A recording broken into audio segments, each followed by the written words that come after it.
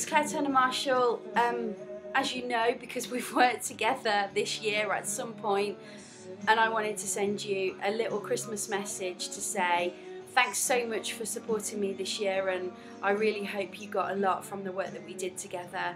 And I wish you a very Merry Christmas and a phenomenal New Year. Speak to you soon. Bye.